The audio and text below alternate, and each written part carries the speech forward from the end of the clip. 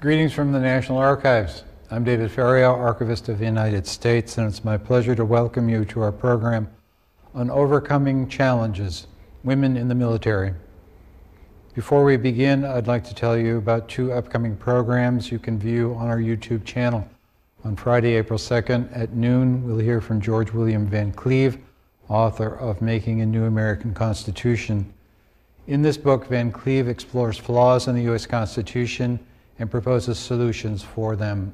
And on April 6th at noon, Jonathan Petropoulos will tell us about his new book, Goering's Man in Paris, the story of Bruno Lohse, who helped supervise the Nazi systematic theft of thousands of artworks during World War II. Women have fought for our nation from its earliest years, but it took more than a century before women were able to enlist and serve in uniform. America's entry into World War I marked the first time women could serve in roles other than nursing.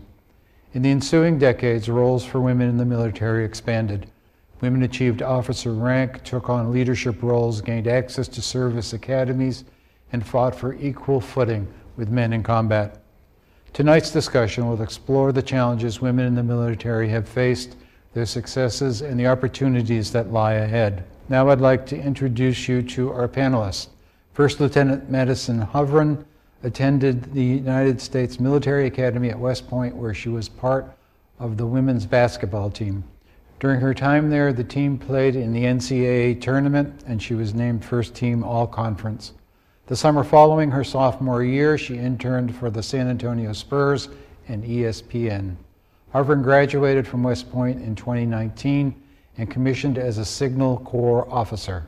She is now stationed at Fort Gordon in Augusta, Georgia, where she is serving as a platoon leader in the 442nd Signal Battalion. Kristin K. French is Chief of Staff at the Defense Logistics Agency. From July 2016 to March 2018, French was the Principal Deputy Assistant Secretary of Defense and served for 16 months as the Acting Assistant Secretary of Defense for Logistics and Materiel Readiness. French graduated from the United States Military Academy at West Point in 1986 and was commissioned into the regular Army as a lieutenant in the Quartermaster Corps. She retired from military service as a brigadier general in November 2015.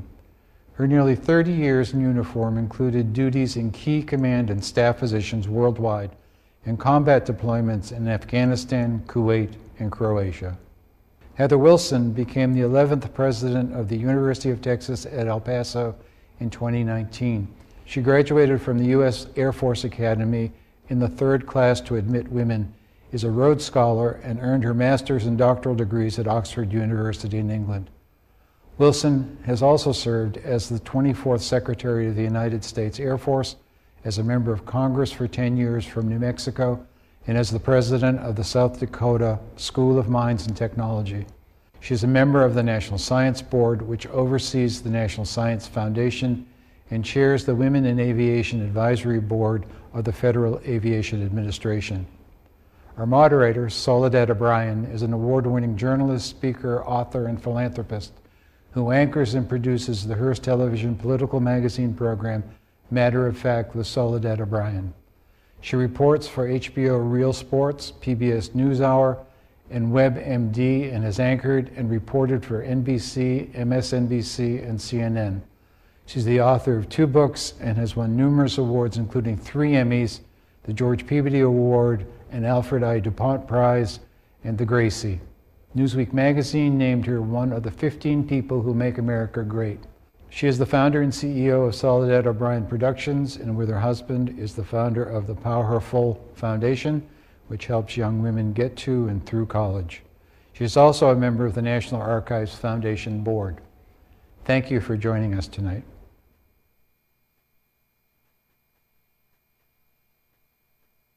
I'm Soledad O'Brien, and I'm very excited to be moderating this conversation with three truly phenomenal women. Uh, President Heather Wilson, if I may, I'd like to start with you.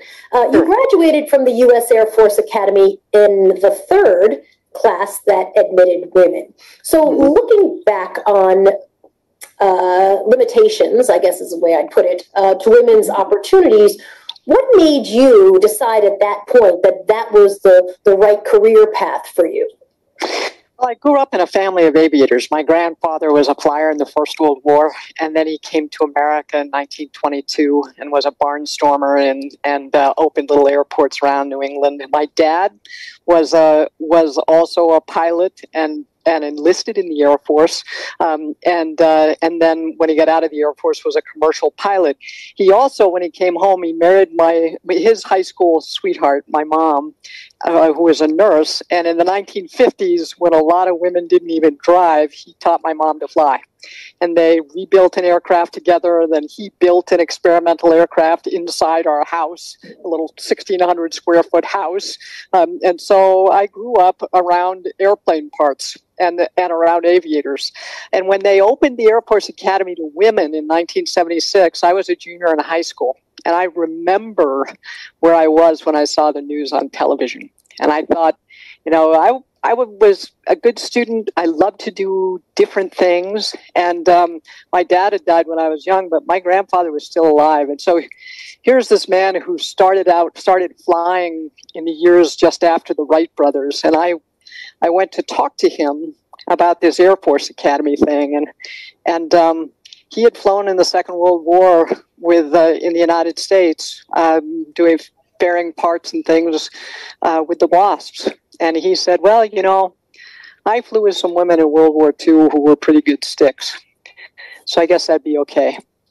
And so, with, with his blessing and a full ride scholarship, I became the first person in my family to go to college. And it was absolutely life changing for me.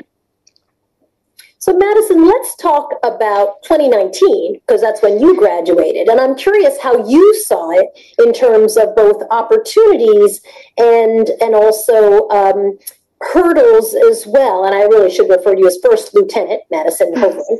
Forgive me. Um, I'm getting all comfortable with my panelists. Um, walk us through as you were juggling and thinking about where you wanted to take your next steps. How were you ga- gauging what would be an opportunity and, and what might be a challenge? Yeah, so my path was a little bit different getting into the military. I was recruited for basketball, obviously going into West Point. So that initially drew me in. But I honestly was not going to go to West Point at all. I was like, absolutely not. And then we visited, and I was just like, this place is so amazing. Like the things they're doing here, the things they're accomplishing, the family atmosphere. I was like, this is for me. And they had great basketball on top of that. So I was like, I can't argue with that.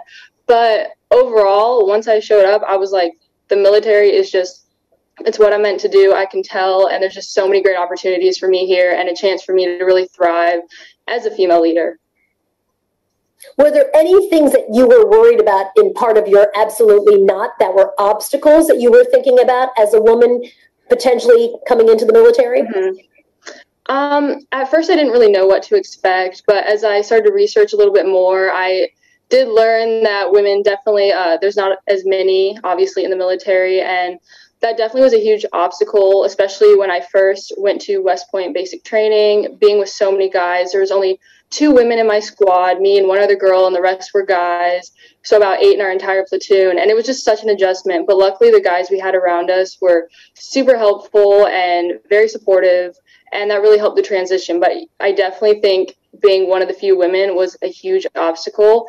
And it's just something you really have to like grow with. And I think it made me stronger overall. And just learning to work through being one of the few women in the room has really helped me to gain my voice and gain my confidence. General Kristin French, now retired, you spent 30 years nearly in uniform. Talk to me a little bit about the efforts to integrate the services to women. What what worked, and, and what do you think still remains to be done to be effective? Okay, thank. First of all, thank you all for having me tonight. I'm I'm excited to be on this panel. Um, so I listen to what Madison says said about her experiences, and I think about what uh, you know we went through 30 years ago. And and she said she had two people in her squad that were women, and we only had one in our squads or none, depending on maybe two two in our entire platoon because there were so few women in those days it was something like 10 under 10% women. Now it's up to 20 or 25%.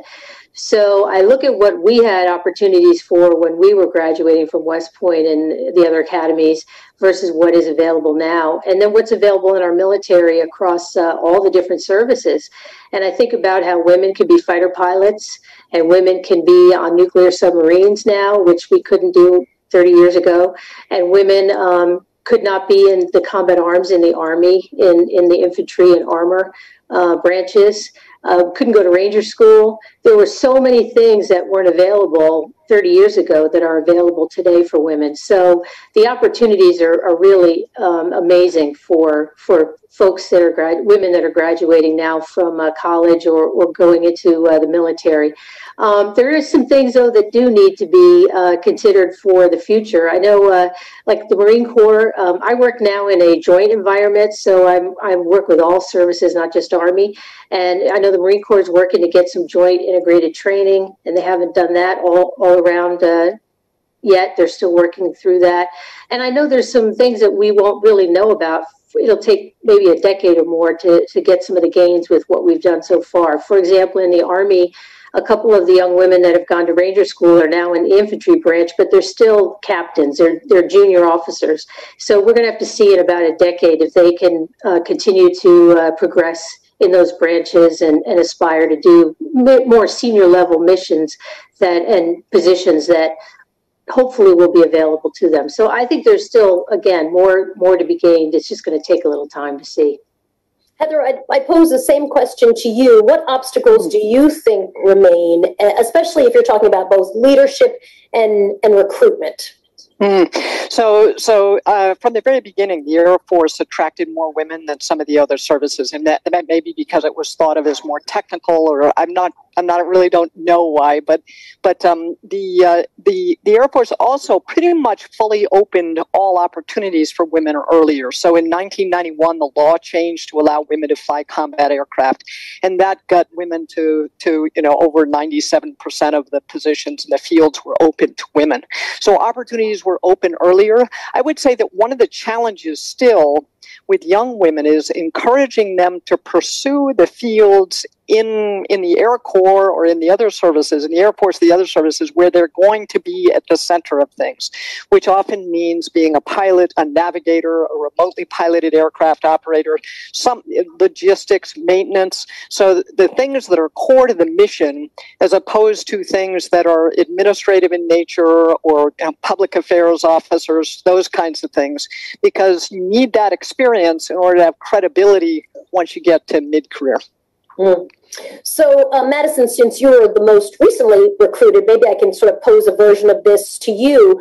Are there ways that you feel that um, recruitment could be better? Uh, uh, you know, where you say it, uh, the military is undermining its own efforts to recruit more, you know, young women like yourself. And um, I'm curious about your experience in your recruitment and what did you think was, you know, again, because you said, oh, absolutely not uh, until you got on the campus. I'm curious about what was part of that. Absolutely not, because I, I have to imagine that there's a, a, number of young women who might say a similar thing. Mm-hmm. Yeah, actually, uh, one of my basketball teammates told me that she was like crying and screaming when she, when her dad made her come, and she was like, absolutely not as well. And then she got there and she's like, oh, actually, I like this. So she it was the same way. Her dad forced her to come, and she ended up really liking it. I think it's just the whole not really knowing what you're getting into, the whole army seeming like it might be too tough. I you just don't know what to expect, and your first thought is just like those infantrymen out there doing that crazy stuff and I just feel like there's just so much you don't understand as a woman and so many opportunities that until you're actually there visiting, until you're actually in it, you don't realize that you are capable of doing it. And it is something that, you know, you can make happen. Do you follow that? Oh, go ahead, Heather. Sorry. I don't think when we recruit, um, I sometimes think that the way in which the services recruit appeals more naturally to boys than to girls. But think about this for a second. If, if you ask everybody who's listening to this today to close your eyes and think about the most protective person in your life, the person who would run into a burning building to save you and protect you from anything half the people listening are remembering their moms. We are the very often, women are natural protectors. And that's what the military is. And we don't capitalize on that enough and that desire to serve and protect when we recruit. And, um, you know, it's all about the cool things you get to use and what you get to fly and where you get to go. And it's not the reason. More girls care about the reason why, um, not just the cool things you get to do. Hmm, that's a great point. And I was actually, I'm going to ask you, Madison, if you are if there are things that you thought the military could have done in terms of framing where you wouldn't think, oh, it's guys and they're doing crazy things. It's more, I'm a strong woman. I love I love serving my country. Why why not me? I'm, I'm curious if you have any sort of just thoughts in terms of what you could, you know, you if you could whisper in someone's ear and give them yeah. advice about recruiting the next generation of women, what you would say. I think well, I think first off, showing like all the different branches would be really helpful. Just knowing that like you don't have to be the one out there on the front line. There's other career opportunities. And obviously, just seeing women out there doing it themselves. I mean, just seeing other women doing it, you're like, okay, she's doing it, like I can do it. But going back to the branches, when you know that infantry is not the only branch, because I didn't know what the branches were probably till my sophomore year. Like I had no idea. So so if you know that you don't just have to go into combat arms and you can be a support branch, I think that could really help a lot of people out and make them want to join as well. Hmm, great point. Um, Kristin, I, I, would like to have you start up a conversation about sexual assault because we, we are getting data that it's risen between 2016 and 2018, and it's been a conversation for long before then. Um, talk to me a little bit about what institutional factors you think set the stage for sexual assault and how it's being addressed now and is it effective? This is definitely a, a topic of conversation in today's military, and, but I would tell you it's been around for years. Uh, you know, we've had sexual harassment and sexual assault for, for decades, well, probably for eternity. And um, I think about 20, 30 years ago and the training we had as uh, young officers and enlisted, and what they uh, the training was for you to confront your your perpetrator if you were harassed or assaulted, not to go to get help, but to look at um, the person who was doing it, tell them to stop doing it, and we've definitely progressed from that type of environment where people weren't wanting to go forward to their perpetrator and say you know that stop doing that to me. So where we are now is is we've really educated and had training on what to do with regards to sexual assault and sexual harassment. And uh, what's great is we've instituted some programs throughout our military and we're working not just with um, folks that you know you always think it's women who are being harassed or assaulted it's it's also men. And so you've got to look at really across the force. So I think um, you know we're really providing more support to victims, and we're doing some great programs across, um, like I said, across the military. Now I would tell you that. Um, the age of the military population is causing some of the, uh, you know, the reasons that we're having problems. I mean, they're they're young people, they're around their peers and around people who they feel that they're comfortable with, and then before you know it, there's a situation that comes up that maybe isn't appropriate and the folks might not realize that what they're doing is wrong or they know what they're doing is wrong but they continue to do it. And so we just have to educate folks continue to train on this t- topic. It is a very very tough topic. And you see what's happened recently with uh, the terrible situation down at fort hood where specialist guillen uh, was assaulted and then eventually uh, was murdered. And uh, the the problem is we've got to get at it. And i know our military is trying to find ways to help people understand that this is not acceptable in our military this isn't acceptable in society. And so i think that uh, again it's a tough topic but we have to keep looking at it and addressing it. The good news story is i think one of the reasons that there's a higher number is because more people are reporting incidents. Mm. because people feel that they're taking act people are taking action when something's happening. And so we've seen a rise as in, in a lot of my organizations i've seen a rise in reporting over the last five years because people are taking action when there's something that is reported. And that's a good news story Yeah, I think that's uh, that's very true. That it can reflect sort of uh, an attitude of this is finally uh, something that's going to be taken seriously. So then you can come forward. Um, Heather, when you started your story, you talked about uh, your family, and and your story is kind of typical because I think it's like sixty percent of uh, Army recruits come from military families. You know, you're in it because you know someone who, or your grandfather or your father. And I'm curious if that has issues ultimately because I think mm-hmm. you know half of its enlisted population is recruited from ten percent of the nation's high schools. Um, you know, is it is it too narrow? Does it? And you know, I, I I would guess if I walked out into the street and started polling people, there's a whole bunch of Americans who don't know anybody who serves yeah. in the military, and I always have found that very troubling. That if you're either a military family or you don't know anybody at all. Mm, it troubles me too, and it's about half in the Air Force. Um, when you say, "Is there, you know, your mother, father, grand grandfather, grandmother served in the military?" So it's a similar similar in the Air Force. But you think about this, during World War II, one in ten Americans served in uniform. One in ten. So the average household size means that every third house on the block had a had a blue star in the window. Today, it's less than two in a thousand. So the military is much smaller, even though we continue to be a superpower, and we're able to to uh, to to have enough people in the military through an all volunteer service. And I strongly support the all volunteer service, but it does mean that there that that uh, you know it's not only the fathers and grandfathers who uh, didn't have the draft now. We now get kids who who don't are three generations removed from anyone in their family even being subject to the draft. So it's not just that they don't serve; it's that they know they would never have to serve. And I'm not sure that that's really good for our country because it does create a gap between the protected and the protectors. Um, but it's also a consequence of the fact we're able to protect our country with only two of a thousand people in uniform. What do you think, and maybe Kristin will ask this of you, um, is getting in the way of appealing to more women? If you look at the number of people of color, actually the military has done incredibly well among Hispanics, African Americans, um, those numbers, and that outreach has been very intentional and is very good.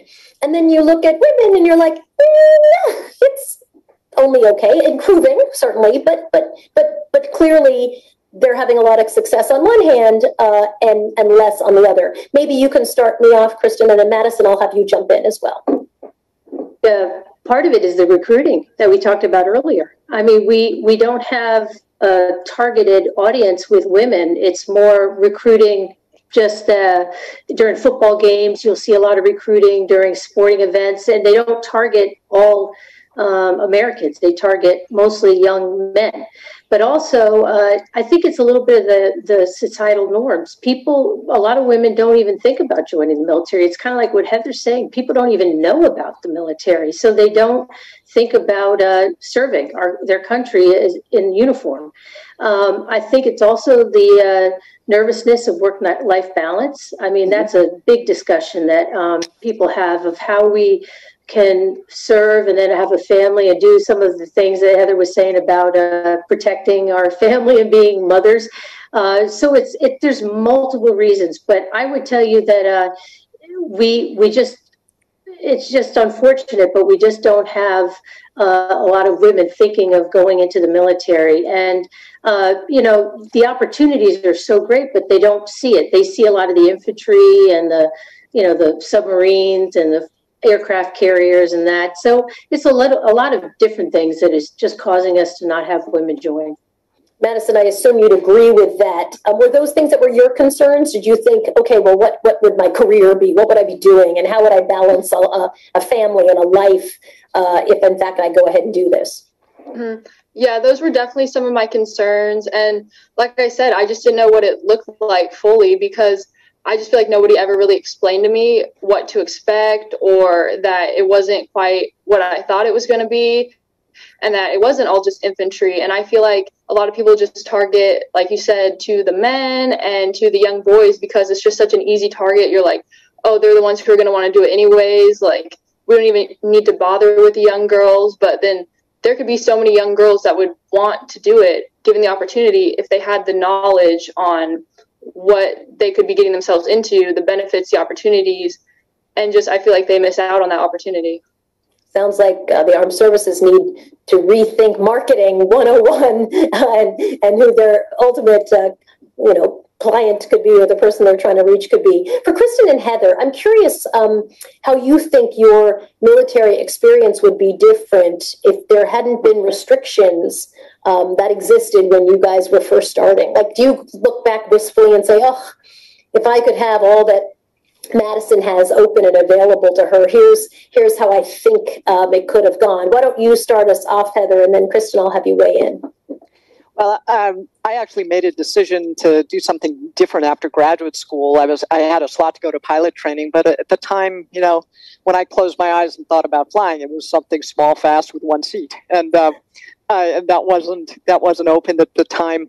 I went on to have a wonderful a wonderful experience uh, in the Air Force and have no regrets. Um, I fly a little airplane, and I actually now have, as a Secretary of the Air Force, flew in some aircraft, all kinds of different aircraft. I have to say, I I really like my little Cessna 152 better than I like being strapped in and you know masked up and everything else. Uh, you can go faster in an F-16, but I can see more in my Cessna, so it's not a big deal.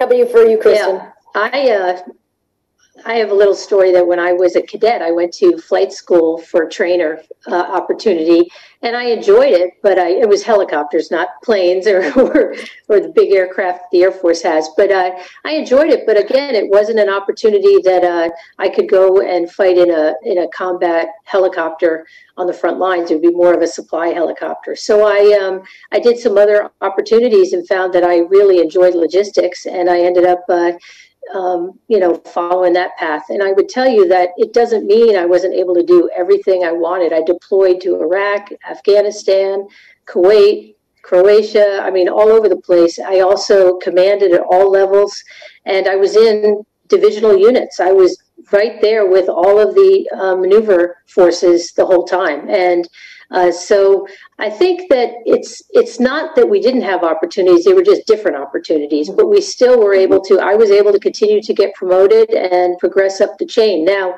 yes, Madison will have more opportunities because uh, a lot of times at the senior levels, uh, they don't have a lot of women uh, opportunities and things like the chief of staff of the Army, chief of staff of the Air Force. But it could happen in the future, and it could happen for the young officers and young enlisted now that they could go go all the way up to the senior ranks. So um, I didn't look at it as not having an opportunity, just different opportunities. Uh, Madison, I'm going to ask you the next question in a moment. I just wanted to remind anybody who's listening if you uh, have a question for any of our panelists, you're welcome to uh, submit it. You're watching this on YouTube, so feel free, and I'll get to your questions in, in just a little bit. I'm going to continue to moderate this conversation, but I'll switch to audience questions in just a moment. So, Madison, my question for you you mentioned that you were sometimes felt like one of, one of the few um, women. Talk to me a little bit about your mentors. Um, did that mean that you had all male mentors? Was there an effort to give you female mentors? Were there just an abundance of female mentors?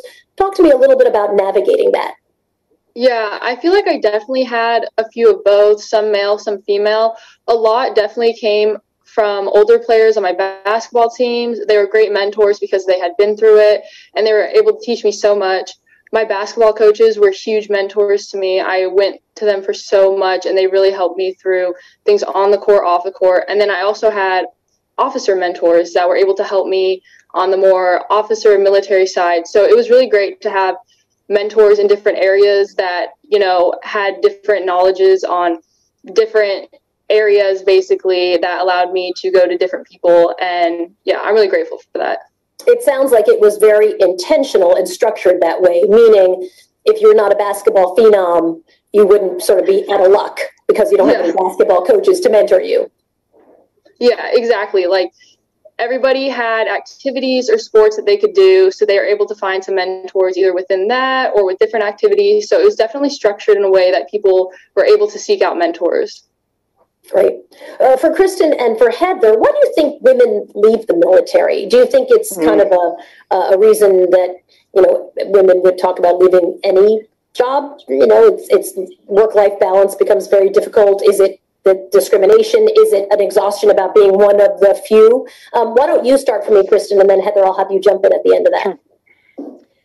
Well, first of all, what Madison just said about mentors, complete opposite for uh, women mentors for some of us that are a bit older. We did not have the women mentors. I did not have the women mentors when I was uh, growing up in the military. I um, had a lot of great mentors, but they were male mentors. Uh, I think back about how few women I saw who were senior to me that had children and were still balancing their military career with their uh, family. I also uh, would tell you when I was uh, in a 4th Infantry Division, I was the only female lieutenant colonel in the entire division, and there were no women above me in rank. So it just shows you how we, there weren't a lot of women uh, at the senior levels that you could go to and ask for advice and support. So um, I did have a lot, though, of other mentors who gave me great advice. So um, I think getting out of the military, you know, people people were looking at the they look at work life balance, they look at um, you know what opportunities they have uh, to get promoted and continue to serve in senior levels. Um, so there's there's a lot of reasons that people decide that. Uh, maybe the military is not for them, but I would tell you that uh, the the mentorship piece is so critical to have mm-hmm. people who can tell you how to balance what you're going through and and be successful. Uh, and before uh, you jump in, Heather, I wanted to go back uh, to Madison for a moment because when you were describing your coaches, I assumed you were talking about women. Am I right? For Madison. Sorry, you cut out a little bit there. Can oh, forgive me. I'm sorry. Oh, um, oh, no worries. Uh, uh, well, you were talking about your your uh, coaches and some of your mentors. I assumed you were listing off those were women. Am I am I making the correct assumption? So we had multiple uh, male coaches and multiple female coaches, and I definitely feel like I was mentored by all of them. Obviously, in different ways, they had different personalities, but I really feel like all of them gave me something that helped me to grow as a player and a leader on and off the court. Perfect. That's what I wanted to clarify. Uh, so, um, Heather, why don't you walk me through what you think are the reasons um, that women depart? Is it mentoring? Is it just a lot to balance? Uh, certainly for the Air Force, the number one reason that we were losing people from the Air Force, particularly pilots who had a lot of options, um, very highly trained, a lot of options outside of the service, men and women, was the operational pace. And you think about this, the Air Force went to war in 1990 when Saddam Hussein invaded Kuwait, and they've never come home. 30 continuous year, uh, yeah, 30 now 31 continuous years of combat operations and very high levels of deployment rates and it just doesn't stop. And at some point families are trying to you know they're, they it, it's the birthday factor right i've missed another birthday I've missed another anniversary. Um, and that balance becomes very, very difficult to justify. And these are very highly trained people and they're very much in demand. And so, so um, they have options. And so, so recruiting and keeping talent is one of the keys for the future of all the services. I said I was going to go to questions in a moment, but actually, there's a question exactly about this. So I'm, I'm going to jump in and break what I just said and go to it because I'm curious about how that is changing. Um, the question is how things change for women in the military who struggle with balancing family life, pregnancy, military housing. Uh, what you're describing, uh, I could see that being a complete deal breaker, not just for women, but maybe for, for anybody. Mm. What What is the military doing overall then to deal with things like that that um, are really about balancing, you know, life and a family, um, and not feeling like you're you're stuck? I, would like to Oh, go ahead. Go ahead, Kristin. I was going to say, uh, I'd like to start out by saying that um, I had my son, and eight months later, I deployed to Kuwait.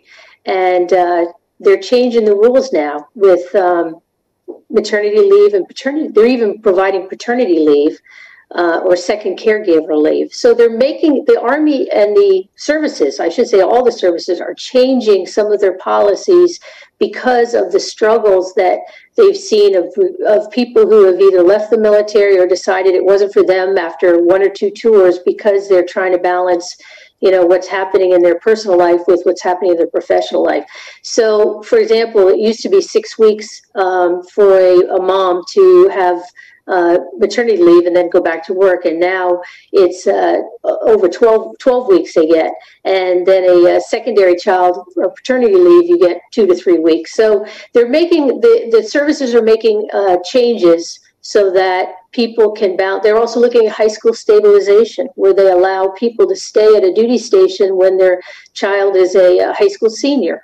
So there's a, there's a lot of things that I think they've the the military has looked at to help families, help women, help people who want to balance that personal and professional. But it's absolutely a uh, it's it's something that we're seeing even in society right now with uh, telework and women who are at home and trying to balance their their children going to school uh, virtually and them doing their job at home. And it, it is a tough balance. So I think that really that's what you see a lot with uh, with women getting out is they just have a hard time balancing you know uh, what what they want personally and professionally heather i would I'm say sorry.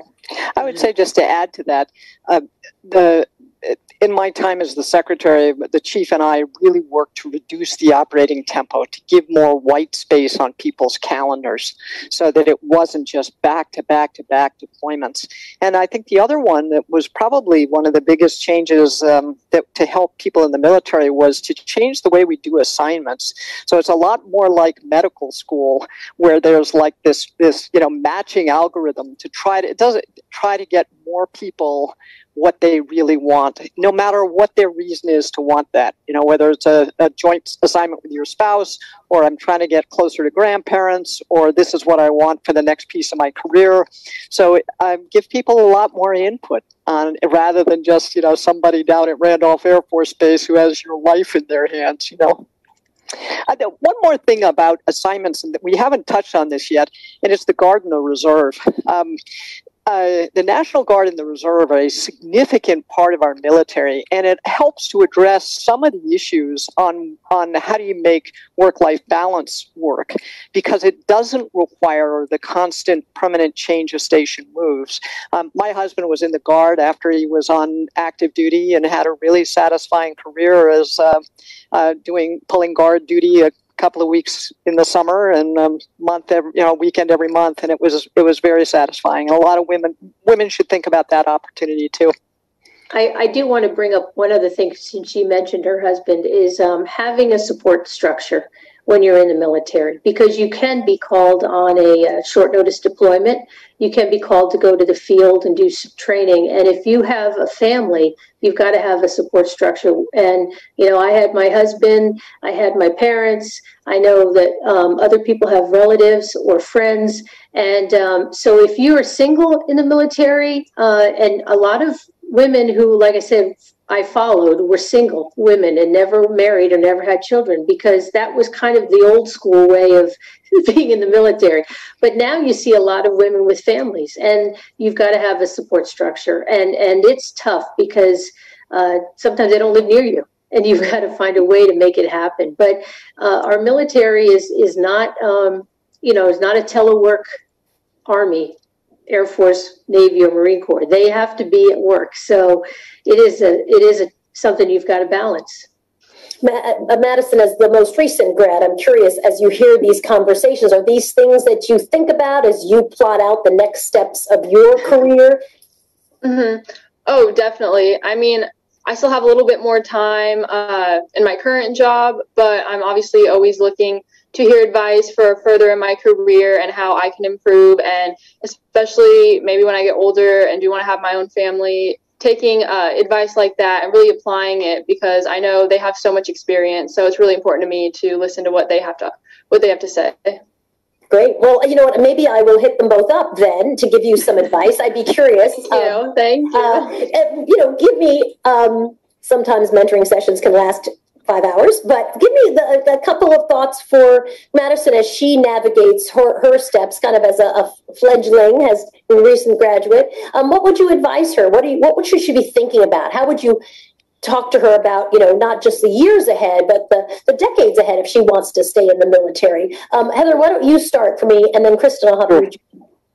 So when I was your age, Madison, I was really focused on the job just you know just do really really well at the job I had, and I and but when I look back on the things that I was able to accomplish, the thing that I remember are the people who were there with me. And what endures over time are the relationships of trust you build through the work. And those, it's almost like investing with compound returns. Because over time, that friends and those friends and those the network that you've built will help you along the way, and they'll also um, uh, you'll also be helping them as you rise in the military or in a broader profession. So steward and build relationships of trust, and don't just do the work. I like that. Thank you. Absolutely. And I, I'd say, yes, friends are so critical in the military, and, and your buddies that you work alongside are uh, everlasting friends. So I would tell you also is uh, take advantage of what all the military has to offer. Uh, everything from travel to schools, what Heather mentioned about maybe taking a break from your, um, you know, your your duties as a officer on the front lines to go to a class or a school and maybe get a second degree. Um, look for opportunities to uh, have other leadership roles and, and take on some challenging jobs because if you get outside your comfort zone, you'll learn some new things and you'll, uh, you know, they'll all be added to your kit bag for the future. And so I tell you, the military, what, what an opportunity to, to see the world and uh, visit some great places and meet some great people and, and just ex- explore. It's, uh, as a great. as an institution, you know, Kristin, I, I I don't know about you when you were a lieutenant, but I looked at what my friends from high school were doing right out of college. You get more responsibility as a young person in the military than any other profession, and maybe it takes a little bit longer to rise in that institution. It's not like you're going to be CEO in five years of your own company or something, but you get a lot of responsibility for for other people and equipment and getting a mission done. It's um, nothing like it. I, I can't think of another profession where you get that much responsibility as a, at a young age. Sounds like a very effective marketing tool for the military as they, as they open up the conversation to young women, right? I mean, this idea of lots of responsibility and lots of opportunity at a young age is a Yeah. great part of the conversation. I want to turn our conversation to some of the questions we've been getting from our audience. So, big thank you to the audience. Um, this one is uh, Should women be made to register for selective service? Madison, I'm going to have you answer that one first. What do you think? Uh, personally, I don't think they should have to because I think that so many women can excel and do well in the military. But I think if we want to increase our female population, it needs to be something they want to do and not something people are forced to do. We need to show them it's something that they have so many opportunities in and something that they would enjoy rather than something they're forced to do. So I think to increase female pop- population, they need to know it's something that they truly want to do. Kristin, how about you? So I'm I'm opposite opinion on that. I believe that, uh, and I know this is a big discussion in Congress right now, and they're just talking about if they should make it mandatory for women. I, I believe that if uh, men have to, uh, you know, register for selective service, women should too. I know other countries do that. Uh, you know, Germany, Israel, other other places I've been assigned or visited.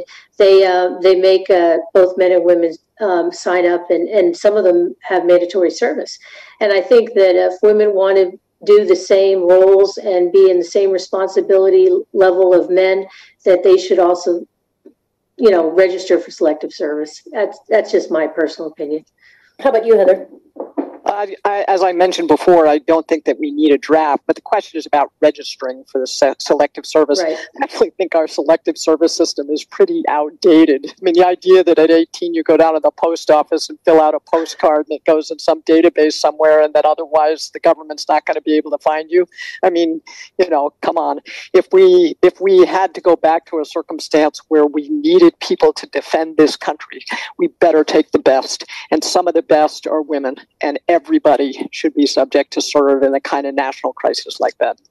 And you don't have to fill out the postcard. It is a little antiquated. I agree. I had sort of forgotten that that is the way, right? Um, uh, this next question. My husband and I sponsor Naval Academy midshipmen and women. What additional support slash guidance do our panelists wish they had when in military college or before going into the field? Why don't you start uh, for us because you're up on my screen, Heather? Why don't you kick us off? Well, first of all, thank you for sponsoring midshipmen. It means that you're you're buying habits at Costco have really changed. You know, several gallons of milk every weekend or something.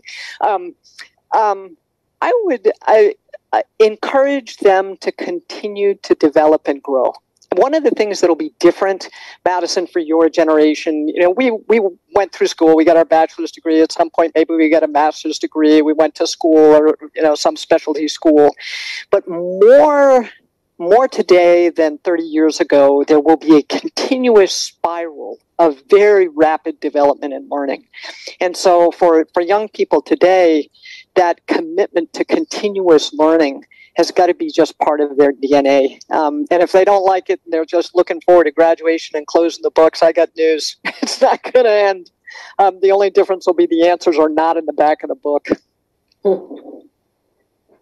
I would tell you too that uh, with social media today, there's a lot of information out there, but it's not all correct information. So it's really important to get to know folks who are in uh, the same environment. So if you, you know, if you're in a military college, you should be looking for folks who are either instructors there or uh, people who have served recently who can help you with understanding how to navigate.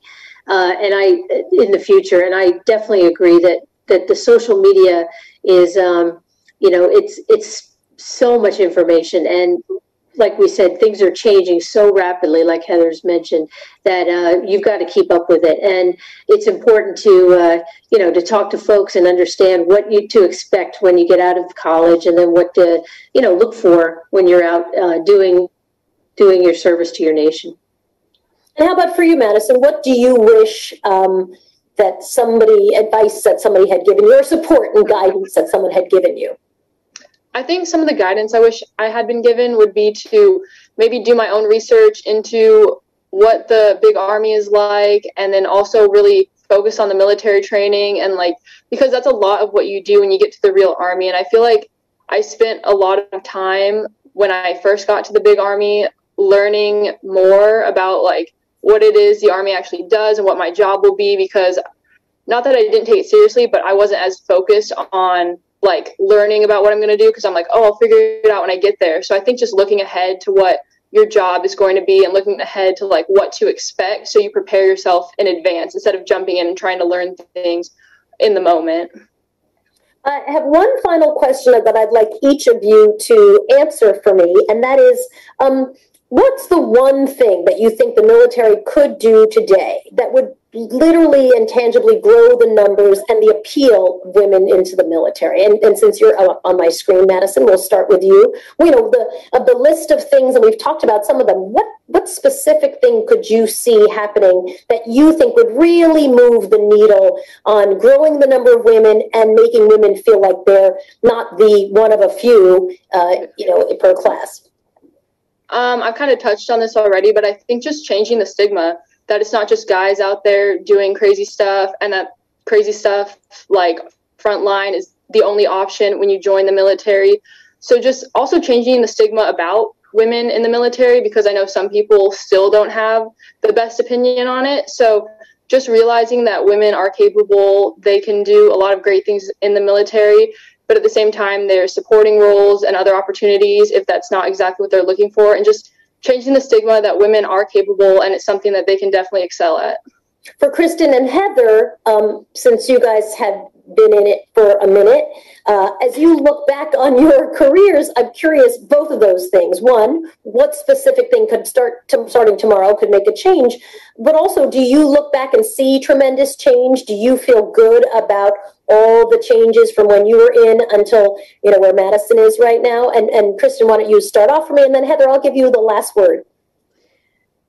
Okay, so first of all, uh, I think forums like this opportunities to show during Women's History Month and then during uh, just throughout the year ways that women have done great things in our military and having examples. And I know there's a lot of opportunities to have young women and then women who are uh, at the end of their military careers come back and explain about what they've done to showcase, go to high schools, go to colleges, just just put the word out and advertising on different TV shows because you don't you don't see it enough and uh, i think that's that's will help us with getting more people interested in potentially serving um, And uh, I would tell you that, uh, I guess, let me, tell me again what your second I was question was? curious, as you, as you look backwards, do you feel like, Oh, yes. wow, there, there's been so much change and I feel really good about that change? Or do you feel like, wow, it's moved at a snail's pace and I, you know, it should have been faster? I thank you for that. I uh, I would tell you that um, I think that over the last decade, it's really moved fast. I, I think it wasn't moving as fast in the before that. I mean, we were kind of stuck in the 80s, as they say. Um, but over the last decade, I can see a lot of change. I mean, I've mentioned it to you. We've had uh, everything from women uh, being able to serve in different roles that they couldn't serve a decade ago, women uh, getting selected for higher levels of, uh, you know, service. We had our first four-star in the Army. Uh, over the last decade, and the Air Force has had several women four stars. Um, and then and the Navy's had one. So uh, a lot has happened over the last ten years, and it's it's it's because our environment we change so quickly nowadays versus maybe 20, 30 years ago. But I've I, I would tell you I've I enjoyed my service, and I would have had it another way. And I look at uh, you know the generation before me and how they were had even less opportunity. So I think the generation after me is going to have even more. It's, it's exciting times for, for Madison and all the young young folks who are joining our military. Heather, I'm going to give you the final word this evening before we wrap up our panel. I think the biggest change that the Air Force could make or the country could make is that the Air Force is too small for what the nation is asking it to do. And it's burning out our people. And that's why they're choosing to leave. And so, so we need to either reduce the requirements for air power by saying there's some things that we do not have enough forces to do, or to make to increase the number of squadrons. And so, so right sizing the Air Force is is what would make the biggest difference. From uh, as far as change goes, and in, uh, uh, since I graduated from the, the academy in 1982, when I became the Secretary of the Air Force, so I'm the fourth woman to be Secretary of the Air Force. The, the, by the way, the Army and the Navy still haven't had one, but I'm the I'm the, the fourth uh, uh, woman, and my successor was also a woman. And um, but when I was going through the the kind of charm school to get ready for confirmation hearings. I met with senior officers and they were briefing me on things and, you know, trying to fill my head with facts so that I wouldn't screw up in front of Congress. And, and uh, there was this one briefing where they were, you know, there were, there was this group of senior officers answering questions and so forth. And we got to the end of this 45 minute briefing and something, and I'm, you know, trying to be professional and all that. And I, did I just said, okay, break, break. Said, um, I just want to that um, this is the first time in my life I have. There were, you know, six or seven general officers in this room. This is the first time in my life I've ever been in a room with three three-star women generals. I've never seen this before. I just want to let you know that I think it's really cool, and um, and they and what was also really cool was they hadn't noticed it it was just the way it was. They were the best people for the job, and um, it was pretty neat. That truly is, I think, a sign of real progress, right? When someone points out something that's very transformational, and everyone's like, "We didn't even notice," because Yeah. it's become uh, it's become typical. Great story, a great way to end our panel. Thank you so much to our three panelists: our First Lieutenant Madison Hovren, uh, General Retired Kristin French, and President Heather Wilson. Thank you to the three of you for joining Thank us you. this evening. Truly appreciate it. Thank you. Thank you.